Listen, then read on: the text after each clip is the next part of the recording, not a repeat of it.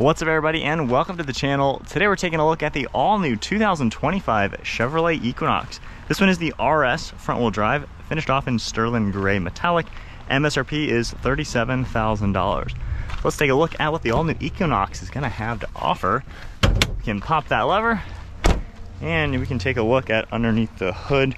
You're gonna get their Ecotec 1.5 liter it's a turbocharged motor with 175 horsepower and 203 pound-feet of torque. This has a CVT transmission, a front-wheel drive.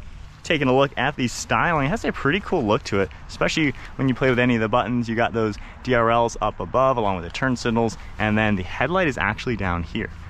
Very common trend in a lot of new cars, but looks pretty cool. Got a little LED fog light here as well. Really sharp contours throughout the front end. RS badge, nice design for the mesh. Chevy bow tie along with a forward-facing camera.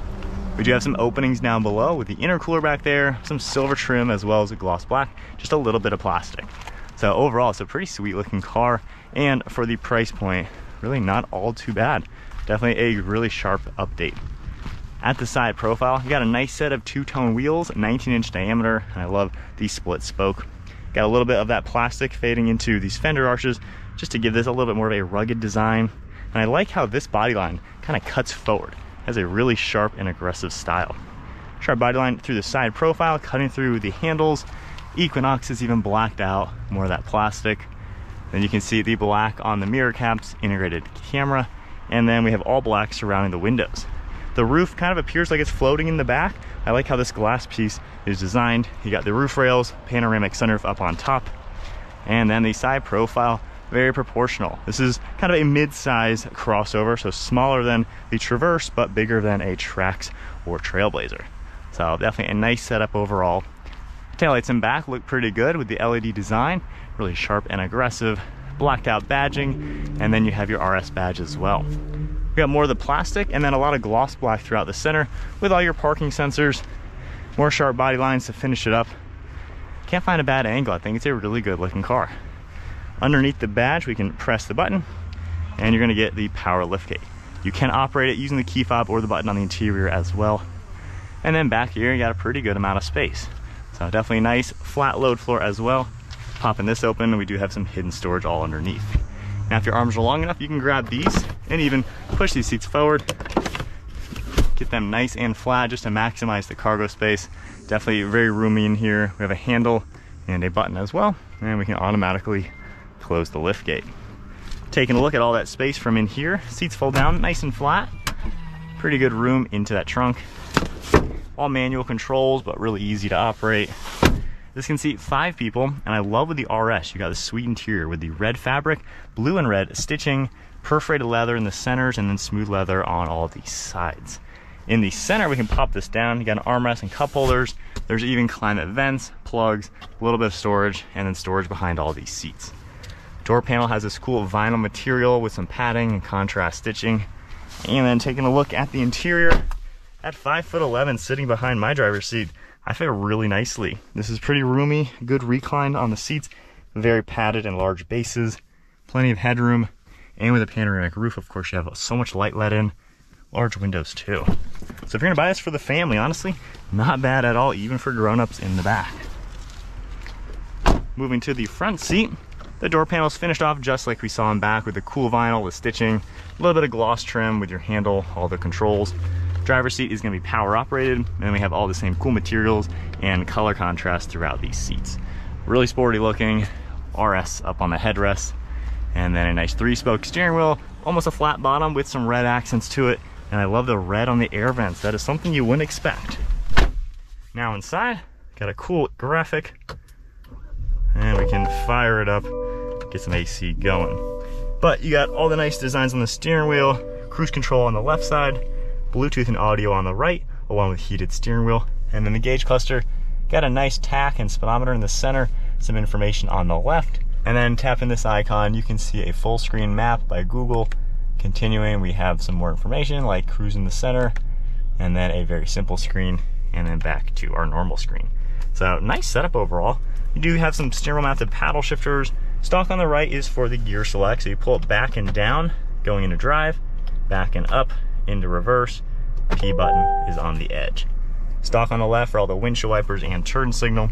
And then we have auto hold, start stop, interior lighting, more of this cool vinyl, a nice air vent. And then I like how all the gauges and everything are kind of together in a bezel. You got more of this cool vinyl material with all the red accents on the air vent and trim, kind of fades into black. Red stitching down below.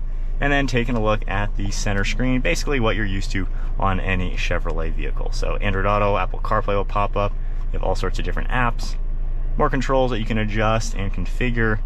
Radio information will all come up as well. Full screen navigation, phone, and then settings is up above.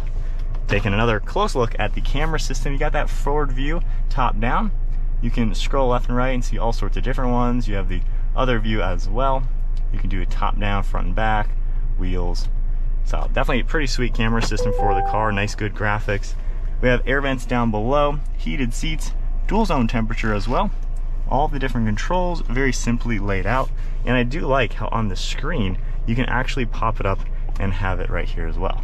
So you get a good depiction or just having physical buttons down below, which a lot of people like. We have some plugs down below with extra storage, wireless phone charging, and couplers, and more storage. Now this has a drive mode select. This one only has two modes, so kind of overkill with the graphics and this nice dial for just a slippery mode basically and normal. But I would assume the all-wheel drive one probably has a lot more modes. From here, we have some storage down below, extra storage down here, and I like this vinyl with the red and blue stitching. You have a nice cubby over here. And then one last look at the interior. The 2025 Equinox, really nice step up. This is a really cool interior without breaking the bank. So I like it quite a lot. Nice sunroof up there with the massive panoramic. Of course, you have sunglass holder, all the glass buttons. And then for the rear view mirror, you even have the integrated camera, or of course you can go back and forth. Garage door buttons as well. And then we have a pretty good size sun visor with your mirror. All right, so setting off now in the Blazer. So first thing you're gonna notice, being front wheel drive, there is a lot of torque steer and a lot of feedback through the steering wheel. So when you're just cruising, it's very light, super easy, but if you give it some gas, you kind of got to fight the steering wheel just a little bit. Same with slow speeds. I've been able to squeal the tires quite a lot without even trying. So I would go all-wheel drive. Honestly, there's a lot of input. I'm just not the biggest fan of that. Normal driving though, it's pretty comfortable overall. The suspension is absorbing the bumps really well. I mean, it's a pretty smooth to drive car, really good visibility over all the glass, right and left shoulder. I mean, it's pretty roomy in here. Definitely nothing to complain about. I love the camera for that rear view mirror. That really goes a long way. But as we get up and go right here,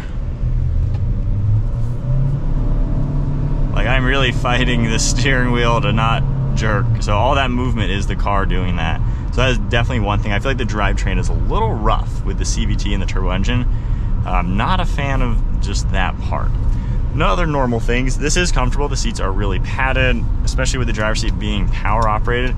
I can get it in a really good position and a good armrest and everything.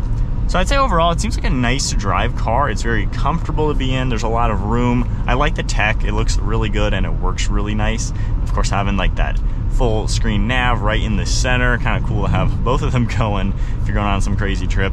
But I think I like how they've done the overall technology in this car to where it's easy to use and familiar. It looks a lot like General Motors in general. So it's nothing hard to get used to, has all the technology you're going to want and expect. And then storage is all really good. Physical climate controls are great. I'd just say as a driving experience, I wouldn't say it's anything that's gonna really blow your socks off. It kind of drives like a typical crossover, I would say.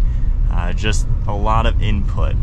Now, as far as the power though, it still gets up to speed pretty well. I wouldn't say it's exactly a sluggish car, but when we pull back into traffic, there is some lag right now. Like I'm kind of flooring it a little bit and it takes a while to get up and move. But once you're going, it kind of carries its weight really well.